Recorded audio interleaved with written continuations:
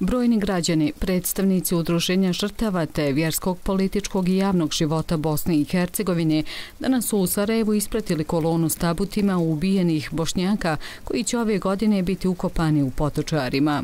Mislim da je bitno da mlade generacije i ne samo mlade generacije očuvaju tu kulturu sjećanja na genocid sve ono što se dešavalo ne samo u julu 1995. nego 1992. do 1995.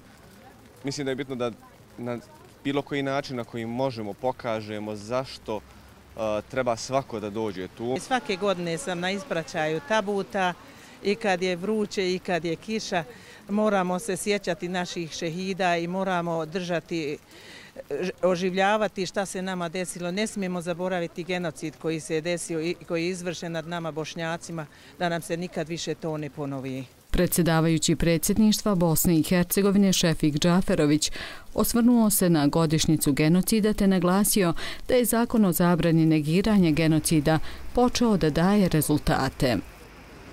To je jedan vrlo bitan i vrlo važan iskorak da predstavim taj zakon za budućnost i u Bosni i Hercegovini i u regionu. Mi ćemo se nastaviti boriti za istinu i pravdu i nikada od toga nećemo odustati. A, tragat ćemo za nastalima još preko hiljadu osoba nije pronađeno.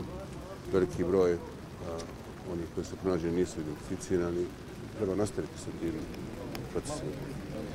I ono što je posebno važno i bitno u svemu tome je da se svi oni koji su na bilo koji način učestvovali o izvršenju genocida iz nedokaz lica pravde. Ove godine, 11. jula, bit će ukopano 50 identifikovanih žrtava genocida. Najmlađa žrtva je dječak Salime Mustafić koji je imao 16 godina kada je ubijen. Najstarije žrtve su Adil Selmović i Husein Krđić koji su u vrijeme ubistva imali 59 godina. Do sada je u memorialnom centru Srebrenica Potočari ukopana 6671 žrtva.